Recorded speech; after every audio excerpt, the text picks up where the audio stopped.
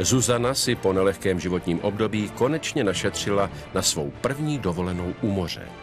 Spolu s dcerou chtěla relaxovat, chodit na výlety, nechat se obsluhovat, jíst, co hrdlo ráčí. To všechno očekávala, když si zakoupila zájezd se službou All Inclusive. Její představy se však nenaplnily a cítí se cestovní kanceláří podvedená. Majitel cestovky má ale jiný názor. Klientka podle něj lže. Zuzana si řekla, že jí stojí za to bojovat za svou pravdu u soudu. Bude to však nelehký boj.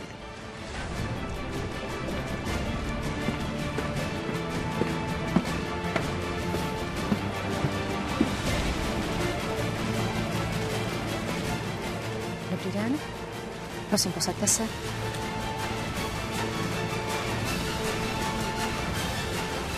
Soud zahajuje jednání v právní věci navrhovatelky Zuzany Hlavocké proti odpůrci Davidu Kupeckému o vydání bezdůvodného obohacení podle paragrafu 2542 a 2543 občanského zákoníku. Paní navrhovatelko, postavte se. Vy na svém návrhu trváte tak, jak byl písemně doručený soudu? Ano, trvám. Děkuji, posaďte se. Zuzana se před dvěma lety rozvedla a nyní žije se svou dcerou Terezou. Z rozvodu se stále ještě nevzpamatovala, trpí nespavostí a nechutenstvím. V tomto období vidí svět jen černobíle. Paní Hlavocká si myslela, že na dovolené za pár tisícovek se kolem ní bude točit celý svět. A tohle je poprvé za dlouhé roky, kdy funguje moje kancelář, kdy musím ztrácet svůj čas nějakým tlacháním u soudu. Pane odpůrce, postavte se. A vy s návrhem souhlasíte? Nesouhlasím, samozřejmě. Já nepřipouštím pochybení naší kanceláře. Domnívám se, že klientka dostala službu plně odpovídající ceně, kterou za zájezd zaplatila. Děkuji, posaďte se. David Kupecký si rád užívá života naplno. Je svobodný, finančně dobře zajištěný. Jeho cestovní kancelář má vybudované dobré jméno a podání žaloby k soudu ho nemile překvapilo.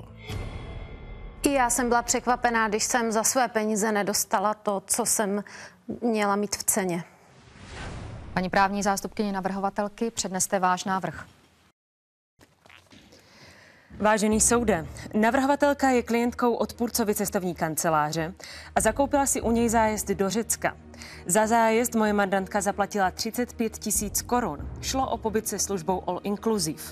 Po příjezdu na dovolenou ale navrhovatelka zjistila, že byla ze strany cestovní kanceláře podvedena, protože nebyly splněny podmínky, které ve smlouvě o pobytu podepsala s protistranou.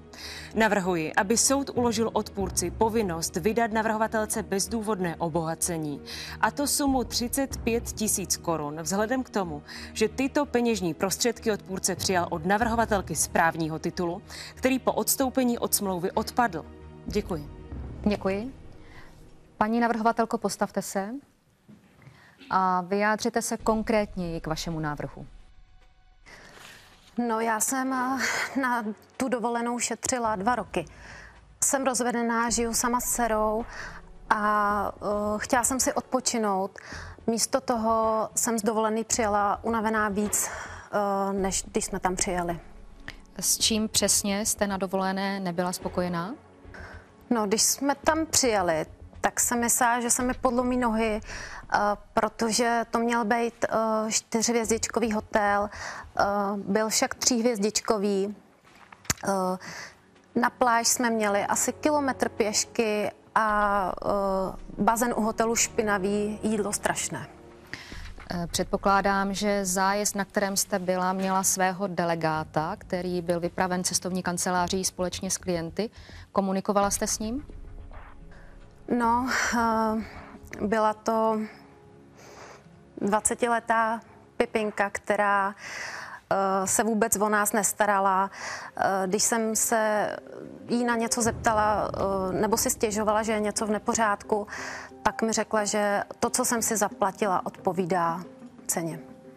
Paní navrhovatelko, v návrhu také uvádíte, že jste byla docela nespokojená s tím, jak se chovali ostatní hoteloví hosté. Stěžovala jste si? No, Nebo co eh, konkrétně vám na tom vadilo, na jejich chování? No tak eh, bylo tam asi zhruba 20 rusky hovořících turistů a nelíbilo se mi jejich chování, protože eh, večer co večer popíjeli, dělali eh, neustále nepořádek, eh, jejich děti malí lítali prostě do večera po celém areálu hotelu.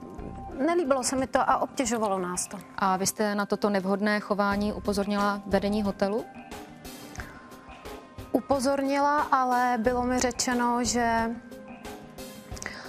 uh, víceméně uh, ruský turista si myslím, že si může dovolit všude všechno, neboť Rusáci mají peníze a uh, zažila jsem tam situaci, kdy jeden z nich hodil 100 euro na stůl a tím byla věc vyřešena.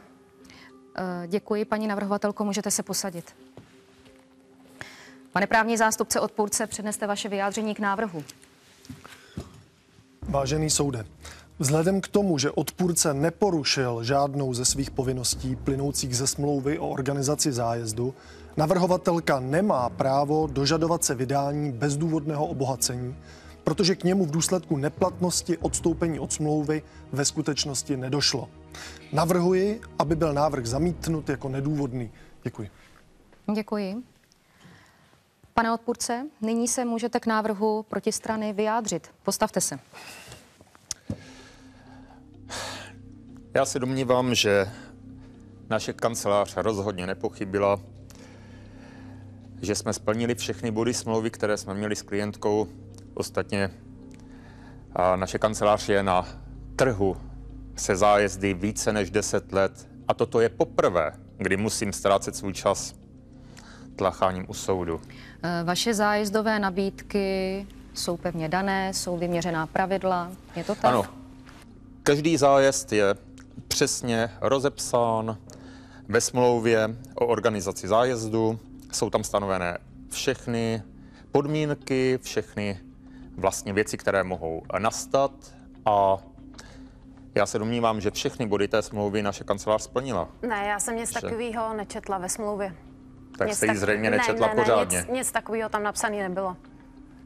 Vy jste byl u toho, když eh, vaše klientka, tedy nyní navrhovatelka, podepisovala smlouvu. Vy jste ji podrobně informoval o obsahu té smlouvy? Ne, tu smlouvu podepsala, podepsala s, s naší klientkou moje kolegyně, které teda absolutně věřím, že tady paní Hlavockou informovala o všech bodech, nehledě na to, že pokud vím, tak paní Hlavocká strávila mi. u podpisu No. smlouvy více než hodinu v naší kanceláři. Já pochybuju, že by se nic za tu hodinu nedozvěděla. No, protože, protože uh, ty peníze, které jsem do toho dala, tak jsem chtěla mít jistotu, že ten zájezd uh, bude takový, jaký jste slibovali. Takže jste celou hodinu mluvila s mojí kolegyní. Mluvila, ale všechno No. byla lež. Pane odpůrce, ve smlouvě, kterou má soud k dispozici, je Ano. uvedeno, že klientka, tedy navrhovatelka, bude ubytovaná ve čtyřhvězdičkovém hotelu. To se ovšem nestalo. Ptám se proč. Důvod je jednoduchý.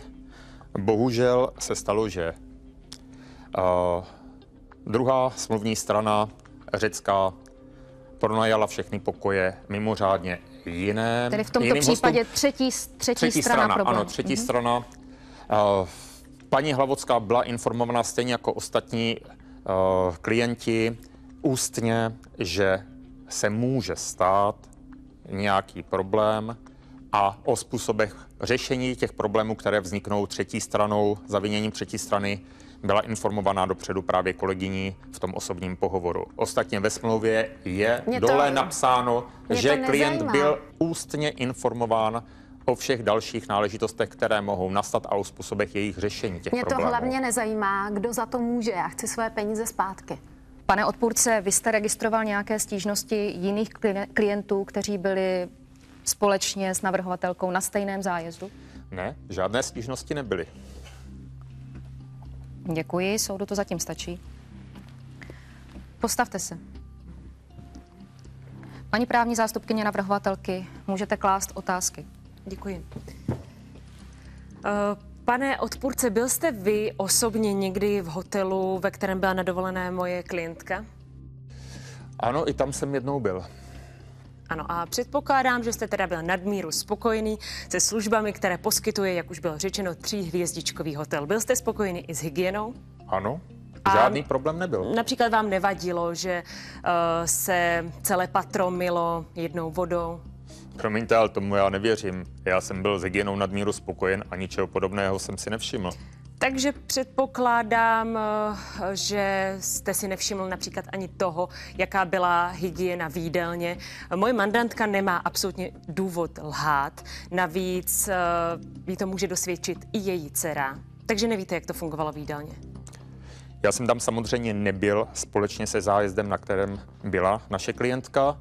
Nicméně v době, když jsem tam byl já, tak bylo vše v pořádku. No tak já vám to ráda řeknu, jak to bylo v jídelně. Uh, uklizečka tam utřela podlahu hadrem a tím samým hadrem pak utřela i stůl, na který číšníci podávali jídlo. To vám přijde v pořádku. To mi samozřejmě v pořádku nepřijde, ale zdá se mi to podivné, že jsem toto neslyšel vůbec od nikoho jiného. To by patrně zarazilo víc klientů, ne? Uh, zřejmě se vám to báli říct. Uh, ono většinou jsou lidi vděční za to, co mají a bojí se říct si o svoje práva, ale bohužel moje mandantka po tomhle zážitku se už nemohla stravovat v hotelu. Další věc, ona si musela stravu obstarávat sama, což zase navýšilo náklady na její dovolenou. To je dost důležitý fakt. Tyhle náklady navíc od vás ani nepožaduje. Ona požaduje jenom vrácení té sumy dovolené. Uh, pane odpůrce, co si představujete pod pojmem all inclusive? Já si myslím, že ten pojem vyplňuje dostatečně smlouva, kterou mandantka podepsala vaše. A Ale vy v té mi, smlouvně je ale vy jste napsané mi pořád lhali. all inclusive máte v ceně ubytování, dopravu z letiště do hotelu, z hotelu zpátky do letiště, máte tam plnou penzi, takže jídlo, pití, přístup do hotelového baru, je tak, No. a zadarmo využívání sportovišť, které náleží k areálu hotelu. Dobře, tak si to pojďme teda všechno po jednom probrat. Ubytování, to už jsme tady řešili. Uh, transport z hotelu na letiště, to asi řešit nebudeme, i když tam byly taky nějaké problémy. Ale strava. Strava byl základní problém, protože all inclusive znamená co? V naší, Znamená to švédské stoly, to byste měli jako provozovatel cestovní kanceláře vědět. Švédské stoly, jenomže švédské stoly tam nebyly. Co tam bylo? Bylo tam jídlo třikrát denně, Ano, ale třikrát denně je plná penze, to není inkluziv. moment. V našich pravidlech cestovní kanceláře, které měla naše klientka k dispozici, je jasně specifikované, že all inclusive u nás je jídlo minimálně třikrát denně, což splněno bylo. A jestli chtěla jíst od rána do večera, No, ale jaký bez jídlo? přestávky, tak si mohla objednat službu Ultra All Inclusive, kterou máme také v nabídce. Uh, nejde tady jenom o jídlo od rána do večera, jde tady i o to, že měla omezený přístup k nápojům, což je ale mnohem větší problém, než to, že neměla non-stop jídlo. Moment, nápoje, ten stejný problém jako s jídlem. Ultra All Inclusive zahrnuje nápoje permanentně 24 hodin denně. Já si myslím, že nabídka byla ve smlouvě specifikovaná nebo v podmínkách pane naší cestovní takže kanceláře. vy teda trváte na tom, že vaše cestovní kancelář poskytla mé mandance opravdu všechny služby, za které si zaplatila. Samozřejmě, když se podíváte na cenu toho zájezdu, já si myslím, že cena plně odpovídala všemu, Vůbec co jsme klientce poskytli. Já si myslím, že právě naopak cena neodpovídala tomu, co jste jí poskytli. Děkuji, vážený soude, nemám víc otázek na pana odpůrce. Děkuji. Pane právní zástupce, odpůrce, máte otázky na svého mandanta? Ano, děkuji. Prosím. Pane odpůrce, jak je to s těmi nápoji v rámci All Inclusive? nápoj v rámci All Inclusive. Já vám řeknu, v čem je problém. Problém je v tom, že paní Hlavocká si prostě ráda vypije. A teď Prosím. nemluvíme o vodě, že? Zbytečně se rozčilujete. Já jsem se na vás trošku přeptal a podle všeho od té doby, co jste se rozvedla, s čím jste se dodnes nevyrovnala, máte problém s alkoholem. Takže my mluvíme o alkoholických nápojích? All Inclusive. Ano. S tím měla paní navrhovatelka problém. Přesně tak, to je ten základní problém. Moje informace Jak si můžete hovoří... něco takového dovolit? Nezlobte se na mě, ale už první večer jste si objednala v baru čtyřikrát nejdražší koněk, který byl v nabídce. Já vás To není normálně normální. budu žalovat za urážku na cti. Paní navrhovatelko, nevstupujte do výslechu. Pokračujte. Děkuji. Čili nešlo o pitný režim, tak jak by mohlo vyplynout ze slov tady právní zástupkyně navrhovatelky, ale šlo čistě o alkohol, který ještě navíc měla navrhovatelka k dispozici, ale ona chtěla alkohol značkový, nikoli lokální, asi něco nevyhovovalo na Přesně tak, dožadovala se pětihvězdičkového Napoleona. Promiňte, ale to není opravdu pitný režim. Děkuji. Já nemám další otázky. Děkuji. Můžete se posadit. Pane právní zástupce odpůrce, máte otázky k navrhovatelce? Ano. Paní Prosím. navrhovatelko, chtěl bych se vás zeptat, na jakém základě jste si vybrala cestovní kancelář mého mandanta? Zdála se mi být uh, nejvýhodnější. V jakém smyslu? Že byla nejprofesionálnější, měla největší zkušenosti nebo v cenovém smyslu? No, když jsem si udělala uh, průzkum, uh, tak uh, mi to opravdu přišlo nejvýhodnější u nich si zakoupit zájezd. Takže poměr cena, výkon byl nejvýhodnější pro vás. Vy jste si uh, udělala průzkum i jiných cestovních kanceláří, které jsou v místě a Samozřejmě. co nabízejí? Ano, ano. A cenově vycházely jak? No, vycházelo to pro dvě osoby kolem 55 tisíc. Ty konkurenční cestovní kanceláře nebo cestovní kancelář mého mandanta? Ty konkurenční. Ty konkurenční. Takže eh, odpůrcova cestovní kancelář byla výrazně levnější než ty, které Ano. eh, mu konkurují. Ano. A vám nebylo divné, že ti konkurenti jsou všichni dražší než No zde nebylo, kancelář mého mandanta? protože, uh, protože uh, tu nabídku, kterou mi udělali, tak uh, se mi to zdálo uh, strašně výhodný a uh, mluvili o exkluzivní dovolený na odpočinek. Prostě, no přesvědčili mě, tak jsem ji koupila. V průběhu podpisu smlouvy jste byla, řekl uh, můj mandant, cca hodinu u nich v kanceláři. Zeptala jste se, je, zeptala jste se jich i na cenu? Proč jsou nejlevnější ze všech těch kanceláří, které jste měla k dispozici? No já jsem ani neměla moc důvod, protože uh, to, co mi řekli, zkrátka bylo strašně důvěryhodný. Takže jsem neměla, neměla jsem ani důvod. Já vám vysvětlím, co z největší pravděpodobností byl ten hlavní důvod, proč cestovní kancelář mého klienta mohla být tak levná. Oni chtěli velmi férovým způsobem vykompenzovat to, že vám nemohou zaručit, že ze čtyřhvězdičkového hotelu se v průběhu vašeho pobytu nestane hotel tříhvězdičkový v případě, že by ten čtyřhvězdičkový byl naplněn, takže by vás přesunuli do jiného hotelu. K tomu prakticky nedochází, mohlo by se to stát náhodou, můj klient s tím počítal, bohužel se to stalo zrovna ve vašem případě a tak jste byla přesunuta do hotelu, který má hvězdičky pouze tři. No ale takhle oni mi to nevysvětlili. Takhle, takhle ne. Moje kolegyně Pane, vám pane to právní zástupce odpůrce, můžete poskytnout soudu nějaký důkaz, že odpůrce má řádně podepsanou smlouvu s hotelem, který je označen čtyřmi hvězdičkami? Ano, mohu. Já tu mám smlouvu, kterou podepsal můj mandant s hotelem v Řecku. Krátkou cestou bych ho rád, bych tuto smlouvu rád předal soudu.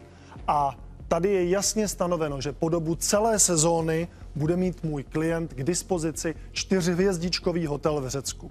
Jestliže k tomu nedošlo, tak byste si Děkuji, měla pane vybrat... právní zástupce, že jste mi předal tento důkaz, eh, i když jsem vás ještě nevyzvala, abyste přistoupil. Přesto vám děkuji. A pokud A k tomu nedošlo, pokračujte. tak jste si měla vybrat a e, jako k soudu jste měla pohnat majitele toho hotelu a nikoli zde mého klienta. Děkuji vám. Máte ještě nějaké otázky na navrhovatelku? Ne, děkuji. Ne. Děkuji. Můžete klást otázky své mandantce. Děkuji. Paní navrhovatelko, navzdory tomu, že jste teda ušetřila nějaké peníze za dovolenou, tak jste požadovala určitý komfort, kterého se vám teda nedostalo a místo toho máte hodně nepříjemných zážitků, ze kterých se vzpamatováváte doteď. Vy jste dokonce byla obtěžovaná. Můžete nám říct, co se stalo? Ano, obtěžoval mě tam jeden eh, podnapilý ruský turista. Mhm. A informovala jste o tom někoho z hotelu? No, eh, bylo to už eh, pozdě večer. V hotelu už byla jenom recepční. ta hovořila rusky, takže jsem jí rozuměla, ale jako neřešila to nějak. Co vám řekla? Nějak vám No. neporadila? No, řekla mi, že uh, oni mají turistů dost, uh, že jestli chci, uh, takže se můžu sebrat a jet z domu. A uh, ještě tam, to, nad tím jsem se teda pozastavila, řekla dokonce, že Čechy mají na háku. A prosím vás, můžete mi říct, jak se rusky řekne máme Čechy na háku? Že jste tomu takto rozuměla? Proč mě chytáte za slovíčka? No, když to takto říkáte Já říkám jenom před to co, soudem. to, co řekla Já paní vám řeknu, recepční. proč jste byla obtěžovaná tím rusky mluvícím turistou. Protože jste s ním flirtovala v podnapilém stavu. Bylo to v hotelové hale. Vy jste tam Jedna byl? hodina Vy jste to ráno viděl? po půlnoci vaše dcera spala nahoře a vy jste s tím turistou tam nasávala. Vy jste to viděl? Ne, informaci mám od naší delegátky a taky od dalších tří klientů, kteří se tam bavili s vámi a byli na tom vašem zájezdě. No, to je samozřejmě lež. No, jelikož Pane nemáme... odpůrce, je, je veden výslech s vámi teď momentálně? Omlouvám se. Nevstupujte své volně do výslechu, ano? Pokračujte. Děkuji. Jelikož nemáme svědecká tvrzení, eh, tak budeme pokračovat dál, nebudeme se tomu věnovat. Řekli vám, když jste si kupovala zájezd, že je strava přizpůsobená i dětem? No, eh, to mi řekli především, eh, že na tento hotel konkrétně jezdí rodiny s dětmi. A jaká teda byla situace, když jste tam byla? No, jak už jsem říkala, to jídlo, to bylo hrozný. Pro děti už vůbec ne. Eh, Strava nebyla pestrá. Jediný normální jídlo, který tam bylo nějaký brambory s masem, z rejží, jinak tam byly samý krevety a eh, samý mušle a mořský příšery. A co čekáte u moře jiného? No, tak měli by to přizpůsobit i českým turistům. A vaše dcera eh, tyhle jídla nejedla z jakého důvodu? Že jí to nechutnalo? Nebo No, tak kvůli něčemu jinému? za prvý to teda nechutnalo, ale hlavně, když zkusila teda ochutnat konkrétně krevety, tak když se nabrala, tak eh, v misce byly červy, no tak to uznáte, že to by asi nikdo nejet. Můžete Takže to jsme- dokázat, ty červy? No tak, tak tady je sebou asi nemám, ale uh, uh, takže hlavně tam šlo o to, že my jsme uh, prostě, takže hygienické podmínky, to, to hrozný, takže jsme se museli stravovat jinde, samozřejmě za svoje peníze, což nám zvýšilo náklady. A eh, vy jste byla jediná, kdo se musel stravovat jinde, nebo měl i někdo jiný nějaké další výhrady? Ne, nebyla jsem jediná, uh, nevím, přesně nevím, jak uh, se stravovali jiní hosté, jestli chodili jinam, ale uh, stěžovali si, konkrétně teda Takže Češi. jste ale nebyla jediná, kdo si stěžoval. Uh, to ne, uh, Češi si stěžovali, jenže znáte Čechy. Já o žádné stížnosti nevím. Oni uh, prostě, když už to mají zaplacený, tak budou jíst, i když jim to nechutná. Takže 38 lidí jedlo červy No, nezlobte na se. dovolené. Jak daleko jste to měli z hotelu na pláž? Splnilo aspoň, splnila aspoň tahle podmínka uh, to, co jste si zaplatila? No na pláž, na pláž jsme měli asi 20 minut pěšky. Samozřejmě v cestovní kanceláři mi řekli, že za tři minuty od hotelu budeme ležet na pláži, opalovat se. Nic z toho samozřejmě nebyla pravda. Takže já jsem si zakoupila zájezd all inclusive. Místo toho jsem měla čtvrtou cenovou skupinu. Uh, paní navrhovatelko, poslední otázka. Mm, Pan právní zástupce odpůrce tady argumentoval tím, že jste ušetřila velké peníze. Pojďme si představit situaci, že by tahle dovolená byla o polovinu levnější. Jela byste na ní? Ne. I kdyby ta dovolená byla zadarmo, tak bych tam nejela, protože uh, jsem si chtěla na dovolené odpočinout a neřešit neustále nějaké problémy. Děkuji, nemám víc otázek. Děkuji, můžete se posadit. Jednání pokračuje v dokazování vyslechnutím svědků. Soud předvolává Janu Balogovou.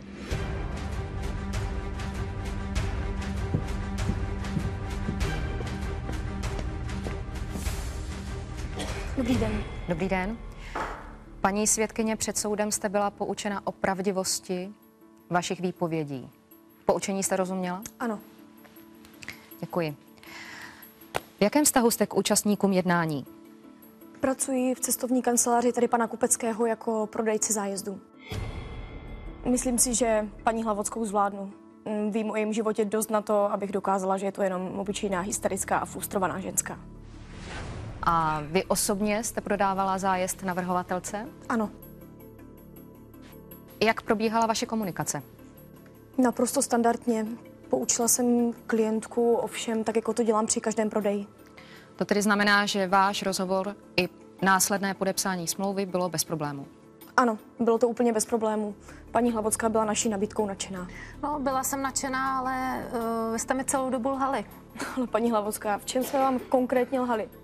No, když budu konkrétní, tak jste mi lhali uh, ve fakultativních výletech, animačních programech To není pravda. a mohla bych pokračovat. Já jsem vám řekla úplně všechny informace. Tak a my bychom mohli pokračovat? Pane právní zástupce odpůrce, navrhl jste předvolání svědka, můžete začít s výslechem. Děkuji.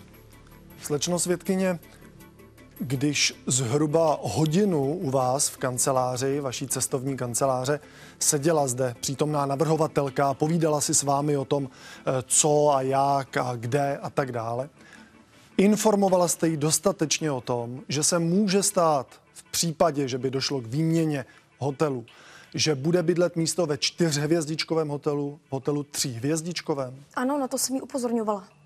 Co přesně jste jí řekla? Že po dobu existence naší cestovní kanceláře se nám stalo pouze jednou. Tuším, že to bylo dva roky zpátky, že náš řecký partner nedodržel smlouvu a hotel obsadil jinými klienty. A jak na to zareagovala paní Hlavocká, na tuto informaci? No, nevěnovala tomu velkou pozornost. Mm, Řekla něco v tom smyslu, že pokud by byla ubytována ve čtyřhvězdičkovém hotelu, Ne, to že... není pravda. To je, to je, Je to pravda. Ne, to vůbec není Řekla, pravda. že Nic takového pokud by byla vůbec neříkali. ve čtyřhvězdičkovém hotelu, že by to bylo samozřejmě fajn, ale pokud by se náhodou něco stalo a hotel měl tři hvězdičky, že jí to, je zase nesmysl. tak nevadí. Nebrala, nebylo to pro ní nic zásadního. Jedna hvězdička sem, druhá tam. Já bych si jinak ten zájezd nekoupila. V okamžiku, kdy došlo k tomu, že pohnala mého mandanta sem před soud, když ho žalovala, tak vy jste se vypravila do Řecka, abyste si promluvila přímo v hotelu, ve kterém bydlela paní Hlavocká, s personálem. Co jste se tam dozvěděla? No, dozvěděla jsem se tam velmi zajímavé věci. Zaměstnanci hotelu mi řekli, že paní Hlavocká byla od první chvíle velmi nepříjemná, arrogantní a s ničím nebyla spokojena. To snad. Já jenom říkám to, co jsem se dozvěděla od zaměstnanců. A vy jste hovořila v tom hotelu i s číšníky. Můžete nám zde říci, co vám svěřili? Mhm, tak ti mi řekli, že po celou dobu dovolené eh, paní Hlavocká nadměrně holdovala alkoholu. Eh, Když jí nechtěli nalít skleničku eh, té nejlepší značky, tak dělala hrozný humbuk. Ehm, Nechápala, že all inclusive neznamená pít zadarmo až úplně do němoty. Je třeba si říct, že... To tu ze mě budete dělat alkoholičku?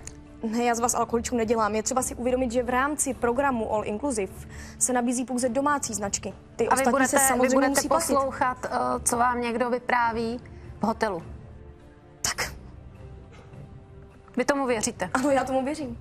Zjevně je divné, že zrovna vy si stěžujete na podnapilé ruské hosty, Tak když by mě si mohli oni stěžovat zrovna na vás třeba. Slečno svědkyně, takže by se dalo říci, že jeden z hlavních problémů zde navrhovatelky byl s kvalitou alkoholu, který se podával v řeckém hotelu. Dá se to tak říct. Že jí nechutnaly lokální značky a chtěla čtyřhvězdičkové zahraniční nápoje. Ano, přesně tak. Slečno svědkyně, vy jste se náhodně setkala i s bývalým manželem zde navrhovatelky. Můžete nám říci, co vám sdělil? Ano, je to tak. Mm, nějak jsem vlastně si uvědomila, že to samé příjmení má i naše nevrlá klientka. A eh, později se ukázalo, že je to její ex-manžel. Um, on sám mi potvrdil, že paní Hlavocká Vy jste nadměrně pije a že má podsuchané nervy.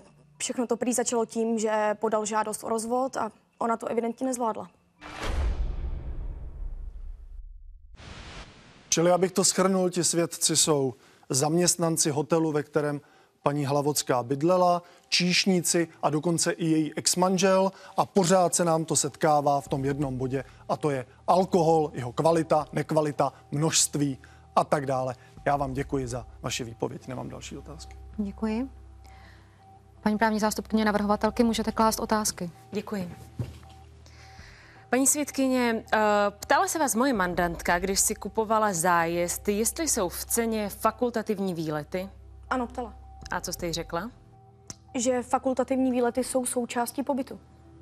No, ale i v tomhle případě jde opět o klamání klientky, protože oni nebyli součástí pobytu. Za fakultativní výlet si musela moje klientka, byl jenom jeden v nabídce, a i za ten by si musela zaplatit 1200 korun. To znamená, že kdyby tam jela na ten fakultativní výlet i se svou dcerou, tak by to bylo 2400 korun a to opět znamená, že jste jí zamlčeli další fakt. Mě to v tu chvíli vůbec nenapadlo. Já se teda omlouvám za ten výraz, ale podle mě každý blbec přece ví, že pokud chce jet na výlet, musí si za něho zaplatit. No, každý blbec, tak doufám, že takhle nenazýváte i mou klientku. Eh, Paní svědkyně, má, jaký máte vztah s odpůrcem? No tak to je velká teda změna tématu. No samozřejmě pracovní. On je můj zaměstnavatel a já jeho zaměstnanec. A považujete váš vztah za nadstandardní? No, pokud tím slovem myslíte, jestli si rozumíme, tak ano, je nadstandardní. Já spíš tím slovem myslím, jestli máte spolu milenecký vztah. Promiňte, ale opravdu nevím, proč bych tady měla říkat, s kým spím a s kým ne. Námitka, to je zcela irrelevantní otázka, jaký mají vztahy v, zákulisí cestovky nebo nemají vztahy. Co to má společného s naší kauzou? Co uh, touto otázkou sledujete? Vážený soude, já se snažím dokázat, eh, že, vztah, že výpověď paní svědkyně je tendenční, nepravdivá a neobjektivní a odpovědí na mou otázku bych se dobrala k tomu, jaký má důvod eh, tady paní svědkyně lhát. Námitka se nepřijímá, pokračujte. Děkuji. Takže prosím, odpovězte na mou otázku. Máte milenecký vztah s panem odpůrcem? Tak řekla bych to asi takhle. Mm, Já jsem svobodná, šéf je svobodný, nedí v tom žádný problém. A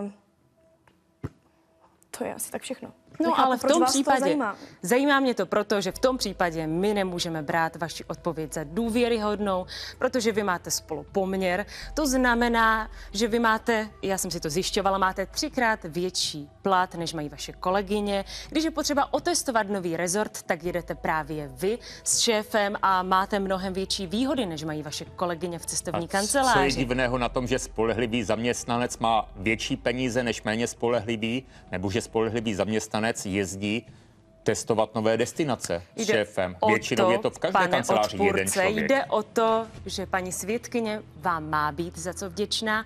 Tím pádem tady rozhodně nepřipustí, že mojí mandance zamlčela důležitá fakta o pobytu a tím pádem ji okradla. Děkuji, nemám víc otázek. Děkuji, paní svědkyně, váš výslech skončil, můžete se posadit. Soud pokračuje výslechem druhého svědka. Předvolávám svědkyni Kláru Dovičovou.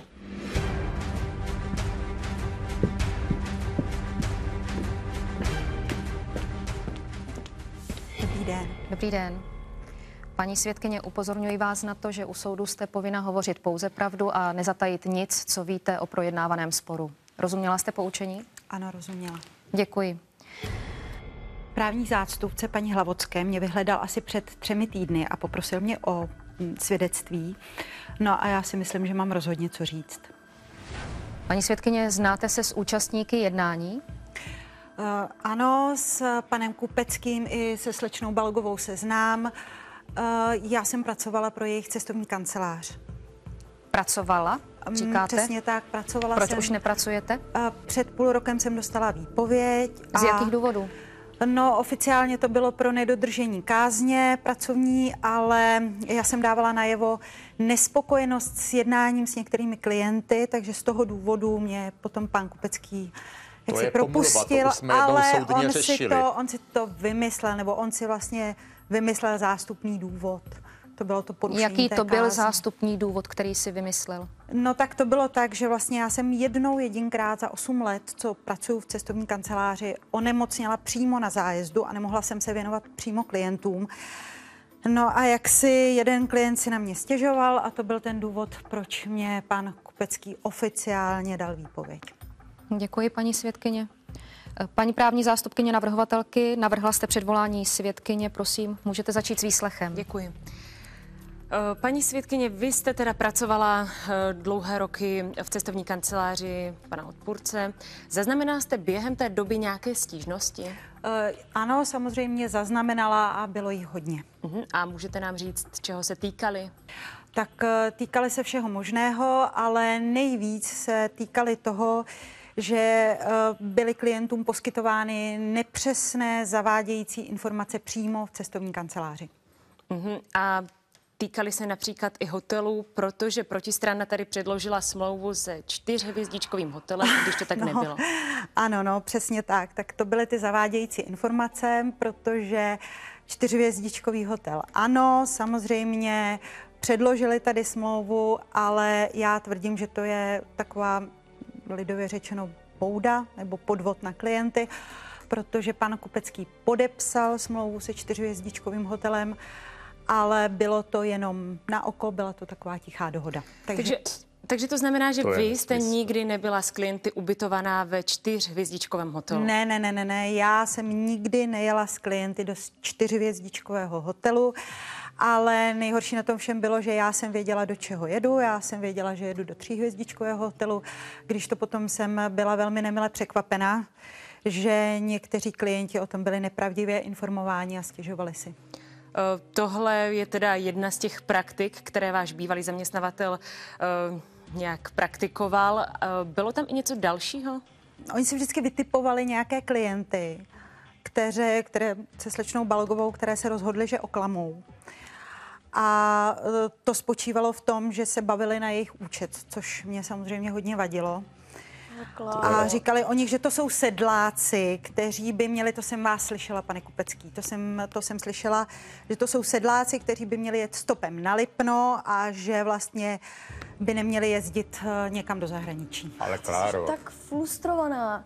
David ale... prostě dal přednost mě, tak si to přiznej.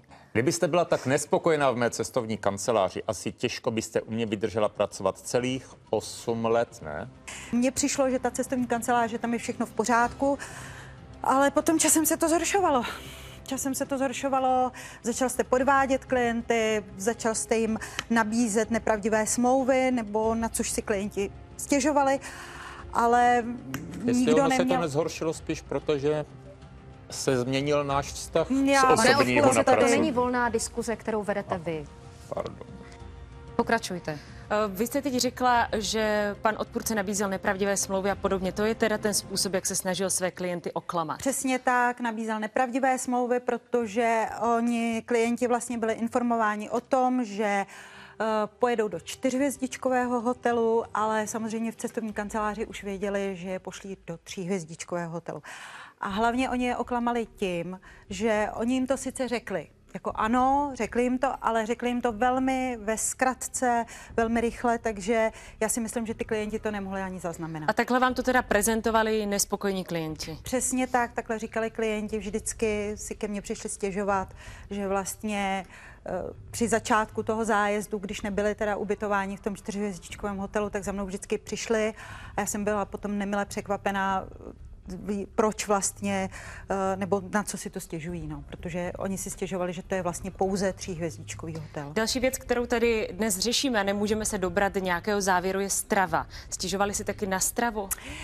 No tak eh, se stravou, eh, to jsem nebyla dokonce v hotelu spokojená já s tou stravou. Ehm, já nejsem žádný gurmán, ale jako to, co tam nabízeli, tak no, to se mi vůbec nelíbilo. A s čím souhlasím s paní Hlavockou, tak to je to, že to absolutně nebylo jídlo pro děti. Uh-huh. Další věc, uh, jaká byla hygiena v hotelu? Taky si myslíte, že byla nedostatečná? Uh, No tak ta hygiena, ono jak kdy, já mám takový pocit, že zrovna jak přišla která uklízečka. Takže jako někdy to bylo lepší, někdy to bylo horší. Uh, Eh, klienti si někdy stěžovali, že vlastně nemají třeba umyté toalety, nebo že, k ním, že mají pocit prostě, že k ním třeba uklízečka vůbec nepřišla. Uh-huh. A když si vezmeme nějak eh, globálně celý personál, eh, jak jste byla spokojená s personálem? Tak Personál to bylo zase jak kdy, někdy tam byla velmi příjemný, nebo někdy tam byl velmi příjemný personál, to nebyl vůbec žádný problém ale třeba já z osobní zkušenosti mám velmi nepříjemnou osobní zkušenost, kdy mě Dokonce obtěžoval jeden čišník. eh, Mám pocit, že měl taky trošičku upito, a mi dělal nějaké neslušné návrhy a já jsem potom utekla na pokoj. Nevím teda, jak by to skončilo. To bych chtěl vidět toho číšníka. Ale Davide, ty už mě nemůžeš urazit. Jako, to jako, sorry, ale s Paní čem eh, pojďme se teda dobrat eh, nějaké pravdy. Eh, Pan odpůrce tvrdí, že on nezaznamenal od svých klientů absolutně žádné stížnosti, že moje mandantka je jediná, kdo si stěžuje. Já jsem si dala teda dokonce tu práci a vyhledala jsem si na webových stránkách dané cestovné kan- cestovní kanceláře eh, nějaké reference a není tam teda žádná negativní kritika. No tak to je jednoznačný. Jednak eh, ty klienti, kteří si stěžovali, tak pan Kupecký umluvil, aby třeba nepodávali stížnost nebo rozhodně, aby to nehnali k soudu. Já mám pocit, že jim slíbil něco jako slevu na další zájezd nebo prostě umluvil je, uplatil je, aby to rozhodně nehnali dál. A potom s, těma webo, s těmi webovými stránkami, tak, ehm, no, tak to je jednoznačný. No, tak webové stránky spravují samozřejmě zaměstnanci firmy, takže ty mohli kdykoliv, že jo, na pokyn pana Kupeckého ten, ty negativní kritiky Ale smazat existují i samozřejmě. nezávislé zdroje kritik a tam také nejsme. Já nevím, jaké nezávislé zdroje, samozřejmě nevím, eh, jako, eh, jak, eh, které zdroje, zdroje jsou nezávislé, protože mně přijde, že vždycky se do toho dá nějakým způsobem zasáhnout, ať už někdo může napsat pozitivní kritiku nebo pozitivní jaksi názor na nějaký ten rezort, nebo tak. Jako já si myslím, že se to dá vždycky ovlivnit. Mhm. Vážený soude, já myslím, že tohle mluví za vše, nemám víc otázek. Děkuji. Děkuji. Máte otázky na svědkyni? Ano, děkuji. Slečno svědkyně, vy jste e, zmiňovala, že ta smlouva byla fiktivní. Vy jste viděla všechny smlouvy, které uzavřela cestovní kancelář mého klienta? Ne, ne, ne, tak to samozřejmě jako zaměstnankyně nikoli. To jsem neviděla všechny smlouvy. Takže vy jste neviděla, nemůžete říct, že jste viděla průřez smlouvami, který vás, které váš bývalý šéf uh... a také bývalý milenec, na to bych rád poukázal, hmm. protože to tady už několikrát zaznělo, paní kolegyně, to znamená, že tato svědkyně je taky, já bych to brala můžeme jako říct, podjata, takže jste je neviděla. Já bych to... Já jsem neviděla samozřejmě všechny smlouvy, do některých jsem měla možnost nahlédnout, ale vím o tom, že některé smlouvy byly opravdu podepsány jenom proto, aby se měl pan Kupecký čím ohánět. To znamená, že čtyřvězdičkový hotel měl s námi podepsanou smlouvu. Mám pocit, že si samozřejmě o to něco buď pan Kupecký nebo ta druhá strana o to si něco řekli, nějakým způsobem se domluvili. Ale třeba já je lež. osobně, já osobně jsem nikdy nebyla ubytována v čtyřvězdičkovém hotelu. A nikdy jsem také nevěděla, nebo nezaznamenala jsem, že by kterýkoliv klient z naší cestovní kanceláře v tom čtyřhvězdičkovém hotelu byl. Já jsem to opravdu nezaznamenala. Takže to je ta moje zkušenost s tím, jak to chodilo. Ano, slečno svědkyně to tvrdíte teď, když jste se rozešla, jak eh, z osobních důvodů, tak z pracovních důvodů s mým mandantem a prohlašujete to, aniž byste nám přinesla jakýkoliv důkaz. Byla jste jednou No ze zaměstnanky, neviděla jste všechny smlouvy, takže eh, vaše tvrzení není podloženo Tak důkazy. já vím, já rozhodně vím, že prostě ten čtyřvězdičkový hotel, o kterém se neustále v cestovní kanceláři mluvilo, který byl klientům nabízen, tak já opravdu, já jsem v něm nikdy nebyla. A to si myslím, že jsem jezdila za těch 8 let, jsem jezdila hodně dlouho prostě do toho Řecka a nikdy jsem nebyla v tom čtyřhvězdičkovém hotelu ubytována. Takže to si myslím, ctít jenom. Ale to, už je- není Jednou pomsta. jsme to řešili u soudu i s tou výpovědí a soud dal za pravdu mě. Dobře, Davide, soud dal za pravdu tobě, já už to nijak neřeším, ale prostě s tím čtyřhvězdičkovým hotelem já si to myslím takhle. Já bych se vrátil k tomu soudu. Vy jste dala k soudu podnět pro eh, soudní eh, stání ohledně nezaplaceného, eh, nezaplacené práce a ohledně eh, Přesně výpovědi, tak, kterou vám dal tak. váš bývalý šéf. Přesně tak, Řekněte nám, jak k dávala. tomu došlo a proč. Já jsem dala samozřejmě podnět k soudu, protože mi přišlo nespravedlivé mé propuštění. Mysl, myslím si, že to byl jenom jeden jediný důvod, kvůli kterému mě můj zaměstnavatel propustil a že to nebyl důvod k tomu, aby mě mohl propustit. Je to váš pocit. Jak soud dopadl? Soud dopadl ve prospěch pana Kupeckého. Takže vaši takže vaše, vaše podání zamítl. Přesně tak, podání zamítl. Čím si to vysvětlujete? No tak já si to vysvětluju tím, že pan Kupecký má různé známosti a potom jsem se taky dozvěděla, že ta soudkyně, která řešila můj případ, takže eh, jela na zájezd z cestovní kanceláří pana Kupeckého. Takže kromě pomluvy mě ještě budete pomluvat soudkyně. Tak eh, já samozřejmě nevím, jaká byla pravda, ale je to trošku divný, když soudkyně, která řeší případ, tak eh, posléze jede na velmi drahý exkluzivní zájezd někam do zahraničí s cestovním kanceláří pana Kupeckého. To mi přijde jako dost podivná praktika. Paní svědkyně, to jsou vaše domněnky, pokračujte. Přesně tak, slečno svědkyně, to je jenom vaše konspirační teorie. A e, vy jste ale přesto nepodala odvolání proti rozhodnutí soudu. Proč? No tak protože pan Kupecký má samozřejmě všude známosti, tak by to bylo marné. A proč jste tedy přišla svědčit sem dnes, když jste přesvědčena o tom, že pan Kupecký ovládá e, soudní moc v České republice? Protože se snažím pomoct paní Hlavocké, aby konečně, konečně někdo řekl tu pravdu a aby konečně vyšla ta pravda najevo. Proto jsem tu i já a doufám, že se to dnes stane. Děkuji, nemám další otázky. Děkuji, paní svědkyně, váš výslech skončil, můžete se posadit. Děkuji. Přítomní vstaňte a vyslechněte si rozsudek soudu jménem České republiky. Ve věci navrhovatelky a odpůrce o vydání bezdůvodného obohacení soud ukládá odpůrci povinnost vydat navrhovatelce sumu 35 tisíc korun titulem bezdůvodného obohacení a to do tří dnů ode dne nabití právní moci tohoto rozsudku. Navrhovatelka má právo na náhradu nákladů jednání a to do tří dnů ode dne nabití právní moci tohoto rozsudku. Soud skončil. Můžete odejít. Nějakých 35 tisíc mě rozhodně nepoloží. Klientů je dost, takže frčíme dál. Nic se neděje. Já jen doufám, eh, že si z toho lidi vezmou po naučení, že nebudou hloupí a eh, Stálo mě to hodně nervů, ale uh, ten pocit, uh, když jsem uh, zvítězila nad lží a aroganství, tak stojí za to. David Kupecký neměl pravdu. Jeho cestovní kancelář do půl roku zkrachovala. Zuzana Hlavocká totiž bojovala dále a na několika webových portálech zveřejnila to, co se na dovolené dělo a nezapomněla na závěr zdůraznit, že soud jí dal za pravdu. Nepříjemné zážitky z dovolené podrobně popsala a rozposlala e-mailem i svým přátelům a známým. Informace se šíří rychlostí blesku. Dosáhla toho, čeho si umínila. Cestovka, která klame klienty, musí skončit. David je momentálně bez práce a rozbíhá nový biznis. Tentokrát by se chtěl věnovat realitám. Prodávat umí a kupec se vždycky najde.